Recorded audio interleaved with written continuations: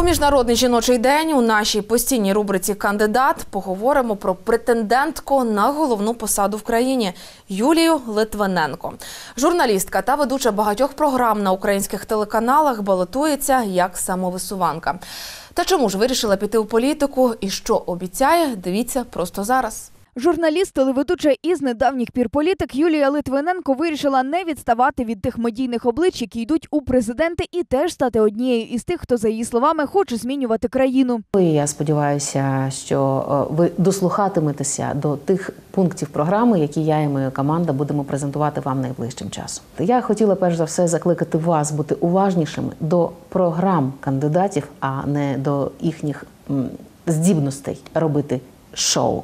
Юлія Литвиненко народилася 7 листопада 1976 року у місті Інгулець, що нині включене до складу Кривого Рогу. З 1994 до 1999 років стринер телекомпаній 1 плюс 1 та СТБ. Робила репортажі із Дніпропетровська та області. З 1996 до 1999 років випусковий редактор ведуча програми Новини, автор і ведуча програми Вот чоловік телерадіокомпанія 11 канал у Дніпрі. З 1999 до 2000 року автор і ведуча програми Питання дня на УТ1. З 2001 до 2003 року ведуча інформаційної програми Факти на телеканалі ICTV. З 2004 автор і ведуча програми Поза очі на телеканалі К1. З 2007 до 2008 головний редактор журналу Телесіті.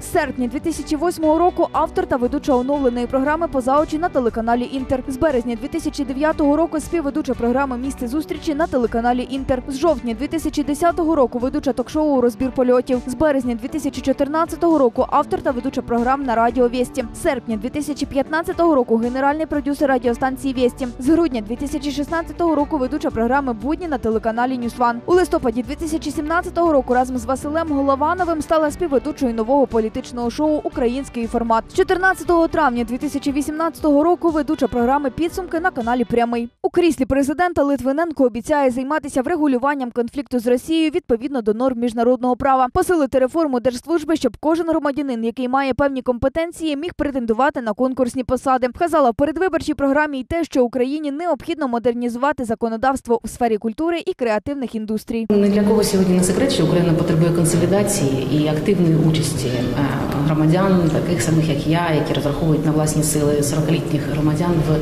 реальних реформах, модернізації країни. У своїй агітаційній рекламі Литвиненко задає питання іншим кандидатам, які претендують на президентське крісло. Та найбільше запитань у журналістки виникло саме до Тимошенко та Зеленського. Слуга народу, слуга Коломойського.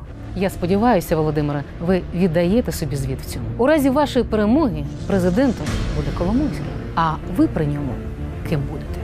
Литвиненко запевняє, що гроші для застави в ЦВК взяла у знайомих позику і обіцяє повернути їх відразу, як стане політиком. А ось політики переконані, що екс-журналіст технічний кандидат банкової. Тож чи дійсно це так, дізнаємося вже в квітні. Новини правда тут.